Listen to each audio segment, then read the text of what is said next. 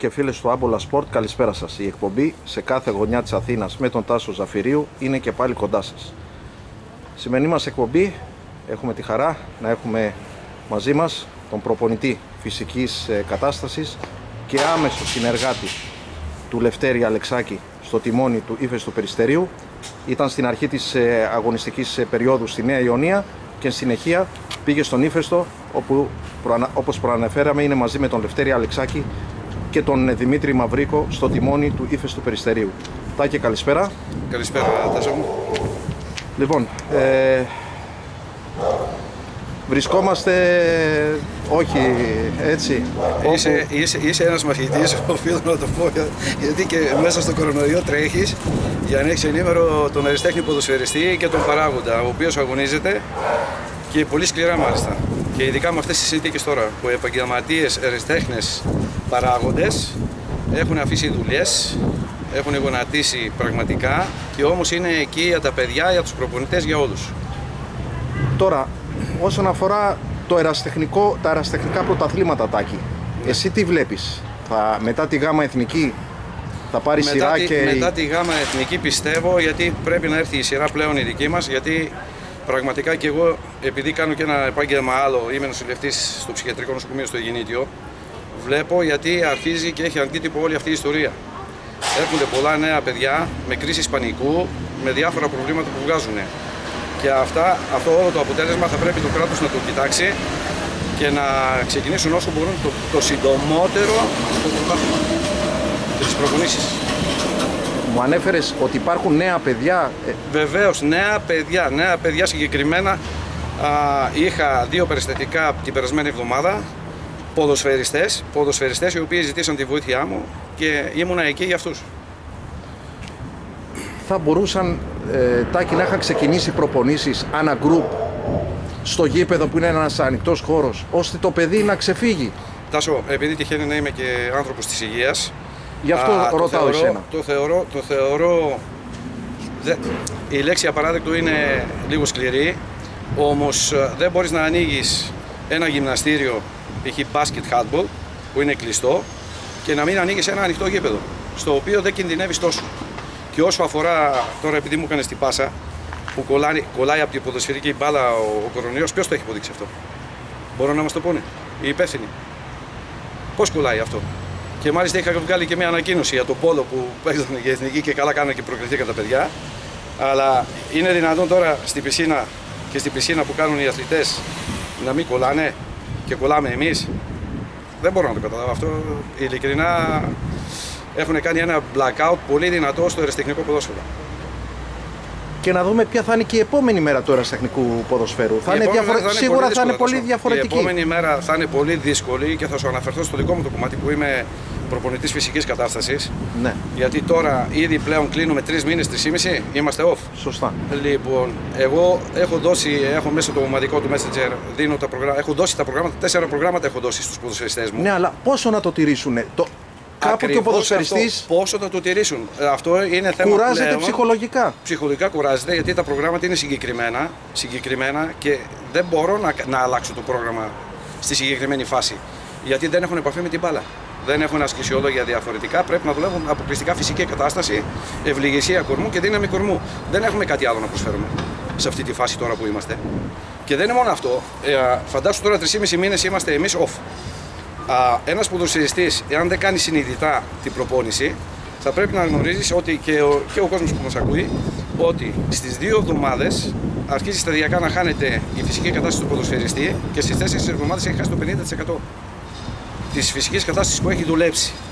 Εγώ για να το ανεβάσω αυτό το πράγμα τώρα, αν θα μου έρθει ποδο- ε, ποδοσφαιριστής με το 50% θα πρέπει να δουλέψω πάνω του 8 με 12 εβδομάδες για να το επαναφέρω στην αρχική φάση που, που, που ήταν ο ποδοσφαιριστής αυτός. Άρα από τη στιγμή που δίνει, δίνεται το πράσινο φως για να ξεκινήσουν οι προπονήσεις. Από τη Πόσο στιγμή- χρονικό διάστημα χρειάζεται μια ομάδα, ο ύφεσος Περιστερίου, οι παίκτες του ύφεσος Περιστερίου, ώστε Εγώ σου να... ανέφερα. Πρόσεξε να δεις τώρα. Εμείς έχουμε κάποιες αρχές στη, στη γύμναση, έτσι. Α, την πρώτη εβδομάδα θα γίνει και μάλιστα και την πρώτη μέρα θα γίνει ένα μικρό τεστάκι στους ποδοσφαιριστές για να μπορέσω να τους γκρουπάρω. Για να δω σε τι Δηλαδή κατάσταση μου έχουν εργομετρικό έρθει. τεστ. Εργομετρικό τεστ, α, όχι ακριβώς, α, τύπου εργομετρικού. Ναι. Θα είναι με χρόνο, θα είναι με χρόνο, με συγκεκριμένη ταχύτητα, την οποία θα πρέπει να καλύψουν κάποια μέτρα οι ποδοσφαιριστές. Και από εκεί και πέρα θα γκρουπάρω, με τις μετρήσεις που θα τους κάνω, θα γκρουπάρω τους παίκτες. Για να δω σε τι κατάσταση μου έχουν έρθει. Ποιος είναι στο 50, ποιος είναι στο 60, στο 70, στο 80. Άρα να κάνουν αναγκρουπ την προπόνηση. Ναι, βεβαίως για να γκρουπάρω την ομάδα για να μην κάνω ζημιές. Για να Είναι- μην υπάρχει κίνδυνος τραυματισμού. Να μην υπάρχει κίνδυνος τραυματισμού. Ακριβώς. Είναι πολύ δύσκολο το έργο το δικό μου στην προκειμένη φάση. Πολύ δύσκολο. Με το coach είμαστε κάθε μέρα συζητάμε, μιλάμε για αυτά τα προβλήματα.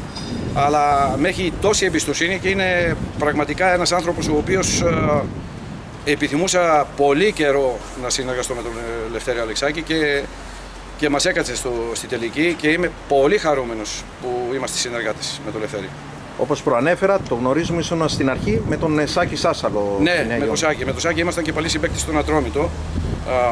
Α, είμαστε πολύ καλοί φίλοι, έχει παραμείνει η φιλία μας και εξάλλου έφυγα για άλλους λόγους από, το- από τη Νέα Ιωνία, εφόσον το αναφέρεις. Εντάξει, και δεν, δεν, ε, ο Σάκης ήταν άψογος απέναντί μου και έτσι έχει, έχει παραμείνει και έχει κρατήσει η φιλία μας. Καταρχήν δεν έχουμε χωρίσει τίποτα, οι δυο μας. Έτσι.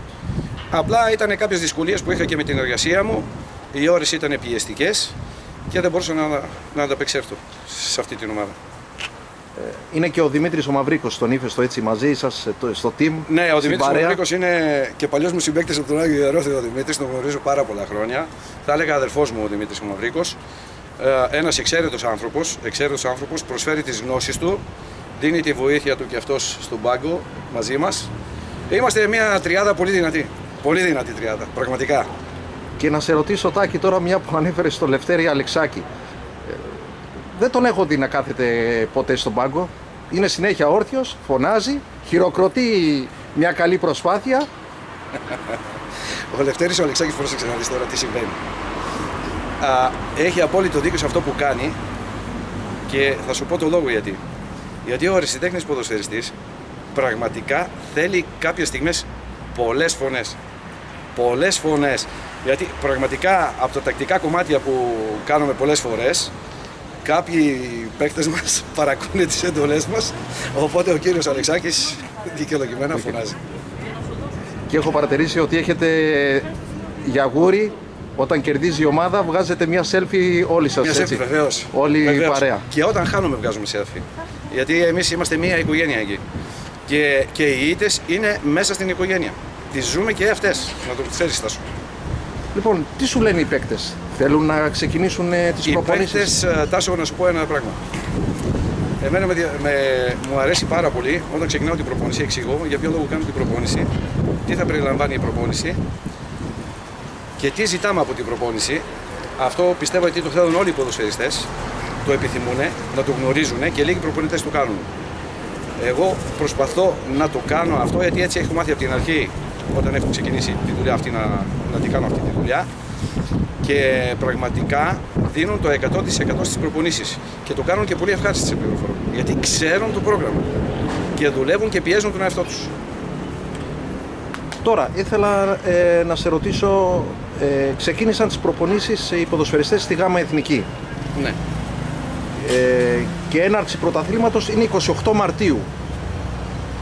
Είναι ικανό το χρονικό διάστημα Το χρονικό διάστημα είναι πολύ λίγο, πολύ λίγο. Δεν γνωρίζω τι κάνανε, τι κάνανε στην πορεία, στο ενδιάμεσο, στη μεταβατική περίοδο οι παίκτες αυτοί. Εάν κάνανε μυστικές προπονήσεις και, και είναι σε μια- σε μια καλή κατάσταση, εκεί θα κερδίσει η ομάδα αυτή η οποία έχει δουλέψει έστω και μυστικά. Που, που δεν έχει χάσει κομμάτια της φυσικής κατάστασης. Γιατί αυτό, αυτό θα, κρίνει, θα κρίνει το πρωτάθλημα τους. Η φυσική κατάσταση. το να γίνουν διπλές προπονήσεις ε, για ένα ποδοσφαιριστή που ήταν ε, αρκετό χρονικό διάστημα εκτός. Είναι, ε, μπορεί να αν είναι επιβαρυνθεί- καλό να γίνει. Ναι. Όχι, τα μου, εγώ πιστεύω ότι δεν είναι καλό. Δεν είναι καλό γιατί δεν έχουμε κάτι να κερδίσουμε. Εξάλλου, εμείς οι αριστέχνε εργάζονται και το πρωί. Δεν μπορείς τώρα να κάνεις μια πάλι προετοιμασία όπως κάναμε το καλοκαίρι. Ξυπνούσαμε στις 5.30 ώρα το πρωί για να ξεκινήσουμε 6.30 ώρα να κάνουμε την προπόνηση και μετά να φύγουν οι ποδοσφαιριστές να πάνε στις δουλειές τους και να ξεκινήσουν πάλι την απογευματινή μετά. Το θεωρώ πολύ δύσκολο έως ακατόρθωτο. Λοιπόν, θα ήθελα τώρα την άποψή σου ποιο- ε, για τον Όμιλο ε, που ήσασταν. Ε, Τι Για τον εικόνα όμιλο σήμερα; που είμαστε. Μέχρι τη διακοπή Θα του σου, πω, πρωταθλήματος. θα σου πω ένα πράγμα. Α, ο όμιλος που είμαστε είναι πραγματικά οι ομάδες που, που ήταν οι, οι top, που θέλανε να κάνουν ένα δυνατό πρωτάθλημα και να, ανα- και να ανέβουν την κατηγορία πολύ γρήγορα. Α, σκουντάψανε στην πορεία. Γιατί από την αρχή της σεζόν ήσουν στον ίδιο όμιλο και με τη Νέα Ιωνία και με τον Ήφαιστο. Ναι, Και πραγματικά, α, τώρα επειδή του λες και ήμουνα στη Νέα Ιωνία, Σωστά. θα σου πω πραγματικά γιατί δεν πίστευα, δεν πίστευα για αυτή η ομάδα γιατί θα πάει έτσι. Γιατί γνωρίζω τι έχουμε δουλέψει σε αυτή την ομάδα. Και δεν γνωρίζω για ποιο λόγο δεν μας βγήκε η δουλειά. Δεν το γνωρίζω αυτό, δεν, δεν μπορώ να το εξηγήσω. Ειλικρινά σου το λέω. Και βλέπουμε και τον Άταλο. Και ο Άταλος που το πάλεψε με τόσες μεταγραφές, μιλάμε ένα budget πάνω από 200.000 ευρώ, α, σκουντάψαν στην αρχή. Δεν, α, δεν τα βρίσκαν εύκολα. Δεν γνωρίζω τώρα πώς ε, και τι κάνουν τώρα στην, οργ- στο θέμα της οργάνωσης, αλλά να σου πω και το άλλο. Εγώ κοιτάζω πάντα την ομάδα μου και δεν με ενδιαφέρει ο αντίπαλος. Κοιτάζω τον αντίπαλό μου κάθε εβδομάδα. Κάθε εβδομάδα, ειλικρινά σου λέω, δεν με ενδιαφέρει τι κάνουν, τι κάνουν από θέμα οργάνωσης, πώς προπονούνται κτλ. κτλ. Εγώ έχω τα δικά μου τα προγράμματα, α, εφαρμόζω αυτά και πιστεύω στη δουλειά μου. Ποια ομάδα θεωρείς ότι ήταν η έκπληξη; Η έκπληξη ήταν ο ύφεστος. Η έκπληξη ήταν ο ύφεστος, γιατί όταν ήμουνα στη Νέα Ιωνία έτυχε να, να πάω να δω δύο φιλικά, το φίλο μου και τον αδερφό μου, τον Λευτέρη Αλεξάκη, και πραγματικά μου είχε έρθει μια ψιλοαπογοήτευση. Δεν, δεν ε, βρισκόταν ένα σύνολο καλό. Αλλά όμως ο Λευτέρης ο Αλεξάκης πρέπει να γνωρίζεις, γιατί έκανε μια καινούρια ομάδα. Έφερε 22 ποδοσφαιριστές, 22 χαρακτήρες διαφορετικούς και κατόρθωσε μέσα σε πολύ μικρό διάστημα να, το- να τον κάνει τον ύφεστο όπως το κάνει και σε όλες τις ομάδες. Ελευθέρω Αλεξάκης, σε όλες τις ομάδες όπου έχει πάει, έχει κάνει οικογένειες. Έτσι. Δεν είναι καινούριο δηλαδή α, η επαναφορά τους στον ύφεστο. Ο Ελευθέρω Αλεξάκη έχει περάσει τουλάχιστον δύο-τρεις φορές ακόμα και με ανόδους και με, και με σωσίβια και με χίλια δυο. Είναι ένας προπονητής ο οποίος έχει αναδείξει την, τη δουλειά του, αυτή που κάνει. Ωραία. Και την άποψή σου Τάκη για το πρωτάθλημα της Α κατηγορίας της ΕΨΑ. Είναι ανταγωνιστικό το πρωτάθλημα; Διησύον του μέλλον του. Δεν γνωρίζω, δεν μπορώ να σου πω. Όχι, ενώ μέχρι Γιατί- τη διακοπή του πρωταθλήματο. Μέχρι τη διακοπή του Αυτό. πρωταθλήματο, ε, εμείς είχαμε το εξής. Γιατί εμάς η διακοπή του πρωταθλήματο μας έπιασε στην άνοδο. Εμείς είχαμε δουλέψει πάνω σε αυτό το κομμάτι. Έτσι όπως είχα στήσει τις προπονήσεις, η ομάδα την έβλεπα γιατί 5 λεπτά, 10 λεπτά παίρναμε, παίρναμε σε κάθε παιχνίδι, παίρναμε, δηλαδή ανεβάζαμε στα λεπτά της αντοχής. Δηλαδή εννοώ ότι τα πιεστικά κομμάτια. Α, είχαμε φτάσει στο φάλιρο που παίξαμε α, με 10 παίκτες παίζαμε από το 45 και πιέζαμε στα 3 τέταρτα του γηπέδου στο 85 και στο 90. Και παραλίγο να, να φύγουμε και νικητές από εκεί μέσα. Τι, εγώ δεν δεν- δεν ξέρω, θα σου πω για την ομάδα μου γιατί έχω εργάτες μέσα εκεί. Εργολά, ε, πώς να το πω, εργοδηγούς, δουλεύουν σκληρά. Δουλεύουν σκληρά πραγματικά. Υπάρχουν Αυτά και τα παιδιά. αρκετά νέα, νέα παιδιά, έτσι; νέα παιδιά και χαίρομαι πολύ που το λες α, τα οποία τους δίνουμε μεγάλη εμπιστοσύνη. Έχουν ταλέντο αυτά τα παιδιά και χαίρομαι πολύ που είναι στα χέρια τα δικά μου και στον Ελευθερία Αλεξάκη. Έτσι, και το Δημήτρη Μαυρίκο. Τάκη, έτσι να μου πεις ε, σε ποιες ομάδες έτσι έχεις ε, εργαστεί; Σε όλη σου την πορεία έτσι, Τάσο, να μας κοίταξε να κάνεις δεις τώρα. ένα... Ξεκίνησα την προπονητική μου καριέρα, την ξεκίνησα το 2003 στον Άγιο Ερόθεο με, Η με τον πρώτη σου Βαγγέλη. ομάδα; Η πρώτη μου ομάδα που ξεκίνησα την προπονητική ήταν ο Άγιος Ιερόθεος με προπονητή; με προπονητή, με προπονητή της πρώτης ομάδας τον Βαγγέλη τον Κότσα. Α, τον Κότσα. Τον οποίο τον θεωρώ δάσκαλό μου, δάσκαλό μου και να είναι καλά ο Βαγγέλης. Είναι τώρα στη Χρυσούπολη.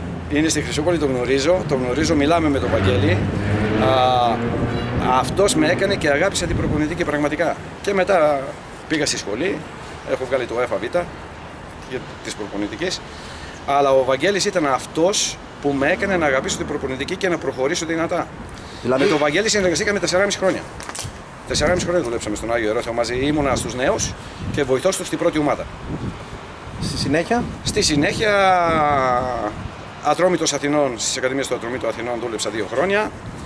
Α, για, διάφορες, για διάφορους λόγους αποχωρήσαμε όλοι οι προπονητές παλέμαχοι του Ατρομήτου που ήμασταν εκεί. Α, δύο χρονιά εργάστηκα Ολυμπιακό Λιωσίων, α, Καλαμάκι δύο χρονιές. Α, Που να σου πω, ανέβασα τον Αυλώνα πρόπερση. Είχα πάει στον Αυλώνα γάμα, γάμα τοπικό, η οποία, η, Β, Β ήταν ο Αυλώνας, ναι, Β, και τον ανέβασα κατηγορία. έφυγα μετά κατευθείαν από εκεί και κατέβηκα Αθήνα. Είχα, δέχτηκα και την πρώτη από το Σάκη, να πάμε στη Νέα Ιωνία μαζί. Εντάξει, χαλάσανε, χάλασε αυτή η συνεργασία και είμαι ένοχος εγώ, εγώ φταίω για όλο αυτό. Γιατί ο χρόνος με, με πίεζε και δεν μπορούσα να ανταπεξέλθω στις προπονήσεις αυτές. Λοιπόν, πάμε και στην ποδοσφαιρική σου διαδρομή, Τάκη. Η ποδοσφαιρική μου διαδρομή είναι πολύ μεγάλη. Τι θέση αγωνιζόσουν. Τάσο, κοίταξε να δεις τώρα. Εγώ είμαι από, τους, από Έλληνες πρόσφυγες. Γεννήθηκα στην Πολωνία. Μεγάλωσα στη Βουλγαρία το 1960. Το 1960 γεννήθηκα στην Πολωνία. Το 1967 πήγα στη Βουλγαρία. Από τα 10 μου ξεκίνησα στη Λοκομοτίβ Βουλγαρίας. Σε ποια θέση αγωνιζόσουν, Ατάκη; Αγωνιζόμουν, ξεκίνησα από τους νέους, ξεκίνησα center back. μετά όμως ήταν γιατί ήμουν και στιβιστικός εγώ, έτρεχα 1500 μέτρα και με περάσανε εξάρι. Χαφ, το, τον εργάτη. Λοιπόν, και εκεί αγωνίστηκα πάρα πολλά χρόνια, στο, στο 6. Στο 1977 ήμουνα στους 10 καλύτερους αθλητές της χρονιάς στη Βουλγαρία και το 1980 ήρθαμε στην Ελλάδα. Στην Ελλάδα όταν ήρθα, ε, εμείς εκείνα τα χρόνια, ξέρεις, δεν είχαμε ούτε μάνατζερ, ούτε τέτοια. Διαπραγματευόμασταν τις μεταγραφές μόνοι μας. Σωστά. Ε, και πήγα δοκιμάστηκα. Στην προοδευτική δοκιμάστηκα πρώτα, θυμάμαι. Ναι. Όμως δεν μου άρεσε το γήπεδο γιατί ήταν ξερό.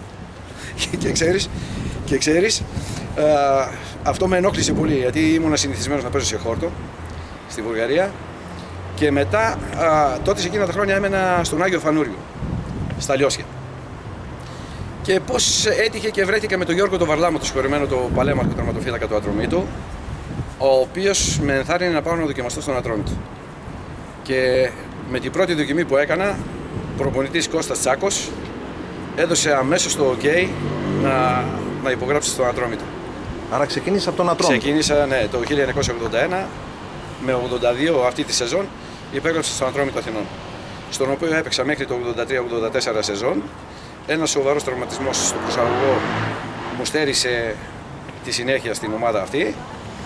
Α, μετά πήγα στη, στον Άγιο Ερώτο, αγωνίστηκα δύο χρόνια εκεί.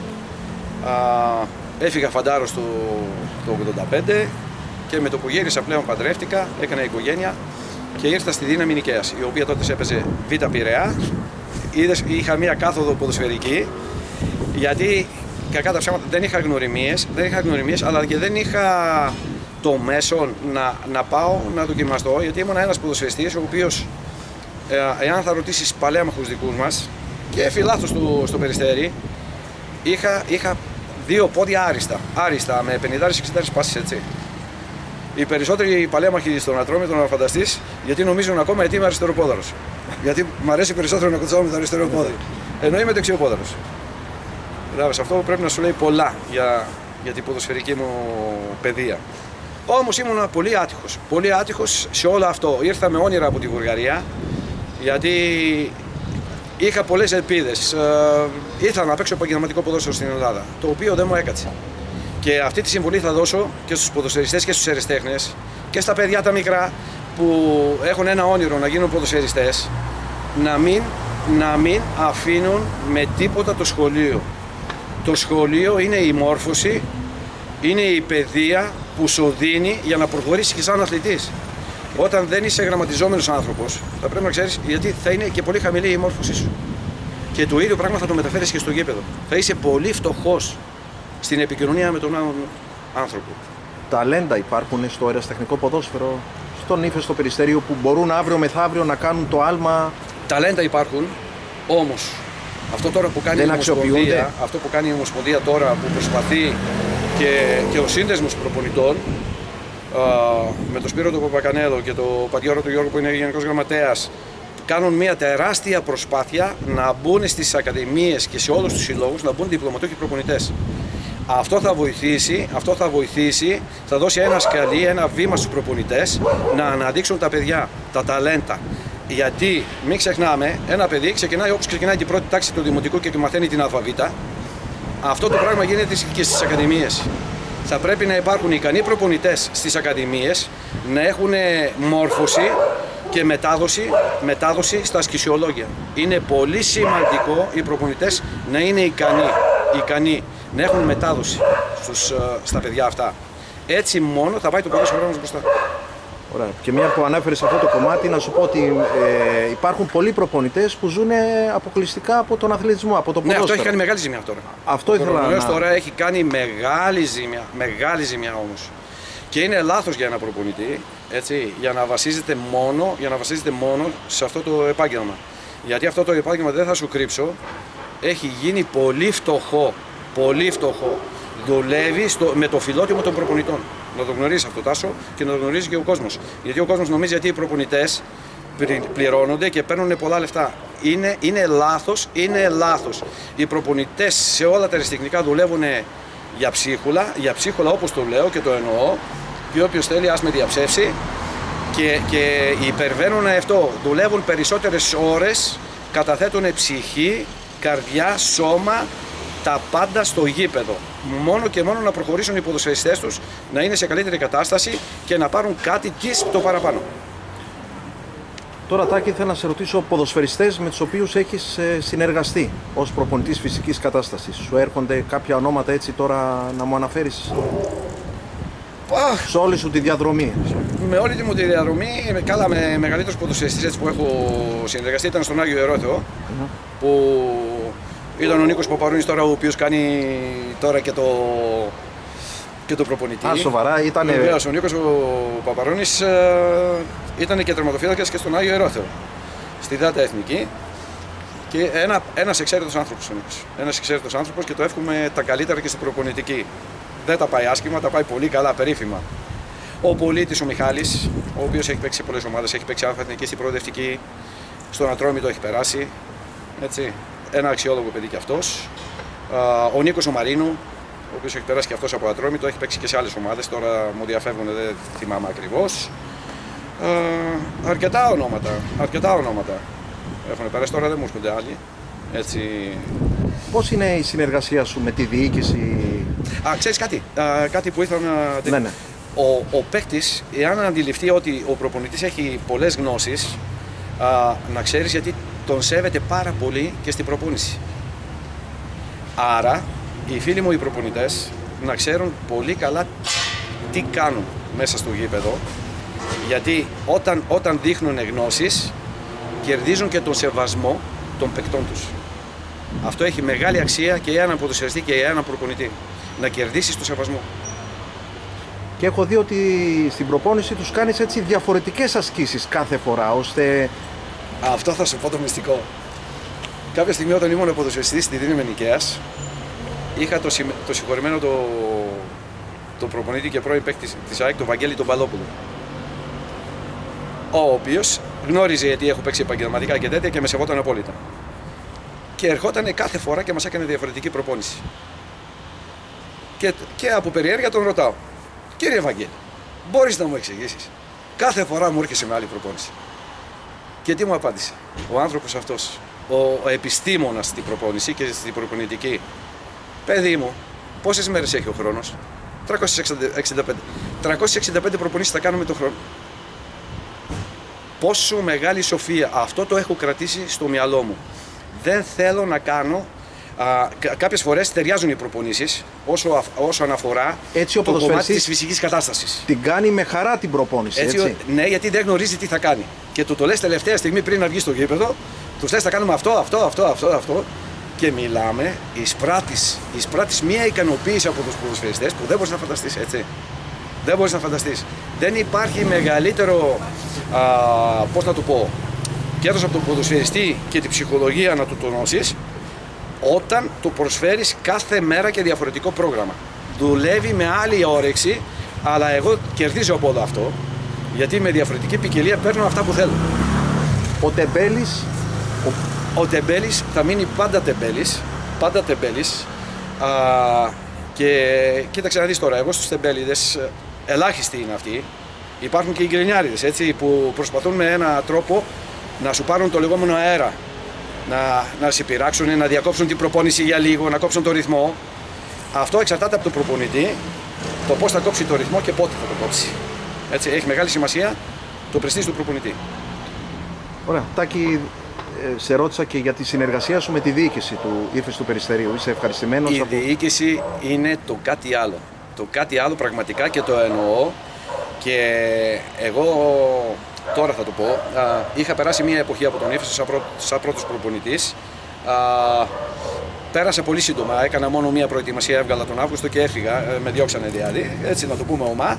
Γιατί δεν το στεριάζανε κάποια πράγματα που ήθελα να κάνω. Εντάξει, καθαρά πράγματα διαφωνίας, απόψεων. Σεβαστό και αποδεκτό από όλου. Δεν είμαι ο πρώτος που έχω φύγει κατά αυτόν τον τρόπο, ούτε ο τελευταίος. Έχουν φύγει πάρα πολλοί προπονητές κατά αυτόν τον τρόπο. Α, η διοίκηση όμως στέκεται στο πλευρό μας. Είναι, είναι πραγματικά πολύ δυνατή, πολύ δυνατή. Και με αυτή την κρίση είναι κοντά μας. Και το γήπεδο του Ιφέστου έτσι σε άριστη κατάσταση. Το γήπεδο του Ιφέστου είναι σε άριστη κατάσταση. Έχει τις υποδομές. Έχει τις υποδομές, είναι τα μέτρα τέλεια να μπορεί να δουλέψει ένας προπονητής. Αυτό που, μας, που χάνουμε λιγάκι είναι η χρόνη στις διαφοράς προπόνησης σε ομάδα με ομάδα. Έτσι, δεν έχεις, δεν έχεις χρόνο ούτε, ούτε, ούτε για ένα λεπτό ξεκούραση. Πρέπει να είσαι πολύ εμπερικτικός, συμπιεστικός στο θέμα της προπόνησης, να παίρνεις γρήγορα αυτό που θέλεις, σε γρήγορο χρονικό διάστημα, για να έχεις αποτελέσματα. Ο χρόνος δεν μας το επιτρέπει και γι' αυτό θα πρέπει να δουλεύει ο προπονητής πολύ, πολύ γρήγορα και πολύ συντονισμένα. Πολύ συντονισμένα. Τώρα, συζητάς με τον Λευτέρη τον Αλεξάκη, τον Δημήτρη τον Μαυρίκο, κάνετε και τον ε, προγραμματισμό σας για την επόμενη σεζόν. Ήδη τον έχουμε ξεκινήσει. Ήδη τον έχουμε ξεκινήσει με τον coach. Μιλάμε, όπως σου είπα, κάθε μέρα με τον coach είμαστε σε επικοινωνία και ήδη έχουμε βάλει και τους στόχους μας και το τι θα κάνουμε για τον χρόνο. Ωραία. Τάκη, τώρα από ποιες ομάδες υποστηρίζεις έτσι από την Ελλάδα, τι. Εγώ, εγώ είμαι, κοίταξε να δεις, εγώ είμαι Ατρόμητος και Παναθηναϊκός. Θα πω την αμαρτία μου. Σαν παλέμαχος στο Ατρόμητο και Παναθηναϊκός. Εξάλλου από τη Βουλγαρία είχα αυτή την ομάδα που και στους παλέμαχους του Ατρομήτου όταν ε, κάνουν αγώνες έτσι... Ναι, βεβαίως. Είμαι και στο ΔΣ του Ατρομήτου, των παλεμάχων. Ανέφερε μου ποιοι άλλοι είναι στο ΔΣ μαζί; Ο, ο κύριος Γιώργος, ε, ε, δεν ξέρω τώρα πώς έχουμε κολλήσει τώρα. Ο, Μισάη. Ο, ο, Μισαηλίδης, ο Μισαηλίδης, ο Σταύρος και ο Κώστας, ο Βαγγέλης ο Κότσαλος, ο Γιώργος ο Ρημικής, ο Κωνσταντινίδης ο, κύριος, ο κύριος Γιώργος που είναι πρόεδρος μαζί με τον αδερφό του. Ο... Πας καθόλου στον Ατρόμητο να τον παρακολουθείς; Στον Ατρόμητο πηγαίνω κάθε εβδομάδα, εκτός τώρα του κορονοϊού που έχουμε την αποχή. Οι περισσότεροι παλέμαχοι είμαστε εκεί, στο γήπεδο. Ωραία. Τάκη, τώρα κλείνοντας, θα ήθελα το δικό σου μήνυμα, το μήνυμα του προπονητή φυσικής κατάστασης και άμεσου συνεργάτη του Λευτέρη Αλεξάκη στο τιμόνι του ύφεση του Περιστερίου Τάκη Τριανταφύλου σε όλους όσους ασχολούνται με το αεραστεχνικό ποδόσφαιρο της Αθήνας. Σε όλους αυτοί που ασχολούνται με το αεραστεχνικό ποδόσφαιρο και όχι μόνο και με τους επαγγελματίες, θα τους πω να κάνουν μια τελευταία υπομονή γιατί έχουμε φτάσει οριακά και εμείς, όλοι μας. Και πιστεύω αυτό να να ληφθεί πολύ σοβαρά υπόψη από την κυβέρνηση και να, να μας δοθεί το βήμα να εκφράσουμε την αγάπη μας που έχουμε για αυτό το άθλημα. Και επειδή ξέχασα να σε ρωτήσω, όπως το ανέφερες, ανήκει στο νοσηλευτικό προσωπικό. Ναι, ανήκω στο νοσηλευτικό προσωπικό του Γεννητήρου Νοσοκομείου. Είμαι 33 χρόνια νοσηλευτής σε αυτό το νοσοκομείο. Θα ήθελα, ε, επειδή έχεις κάνει το εμβόλιο, ναι, έχω κάνει και το εμβόλιο. δύο ναι, δόσεις του εμβολίου, βεβαίως, βεβαίως τι θα έλεγε σε όλους εμάς; Το συνιστώ σε όλους εσάς να το κάνετε, να το κάνετε γιατί δεν έχετε άμεση εικόνα το τι σημαίνει κορονοϊός. Έτσι. Α, απλά θα αναφέρω το εξής, γιατί την χάνει να είμαι καθημερινά με γιατρούς και θα σας πω ακριβώς τα λόγια του φίλου μου του Χρήστου του Δρακόπουλου, του αναισθησιολόγου, ο οποίος μου είπε το εξής. Άνθρωπος ο οποίος θα μπει στο, με κορονοϊό σε μία μονάδα έχει 20% ελπίδες για να βγει ζωντανός. Αυτό θέλω να το ακούσετε όλοι σας και να το λάβετε πολύ σοβαρά υπόψη σας εάν θα κάνετε το εμβόλιο ή όχι. Αυτά είχα να πω. Ωραία. Τάκη να σε ευχαριστήσω. Έχουμε τα καλύτερα και σε σένα Τάσο. Χάρηκα πάρα πολύ που έτυχε να, να τύχει αυτή η συνέντευξη. Έτσι ήθελα και, τη δική σου Και ειδικά γνώμη. και με αυτή την κρίση. Και χάρηκα πολύ που όταν με πήρες τηλέφωνο, μου, μου το είπες και στο τηλέφωνο, γιατί θέλεις να ακούσεις και τη δική μου άποψη σαν προπονητής φυσικής κατάστασης.